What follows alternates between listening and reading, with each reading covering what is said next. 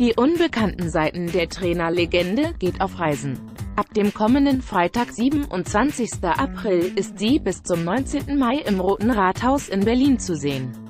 Punkt, Punkt, Punkt, Punkt, Punkt, Punkt, Punkt, Punkt, Punkt, Punkt, Punkt, Punkt. Mitte Juni startet die Schau in Mannheim. Punkt, Punkt, Punkt, Punkt, Punkt, Punkt, Punkt, Punkt, Punkt, Punkt, Punkt. Anhand ausgewählter Werke aus Herberger rund 1500 Bücher umfassenden Sammlung wird das Leben und Wirken des Chefs aus ungewöhnlicher Perspektive in Szene gesetzt.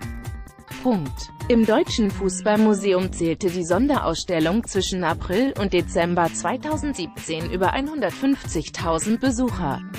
Punkt. Punkt. Punkt. Punkt. Punkt. Punkt. Punkt. Punkt. Punkt. Punkt. Punkt.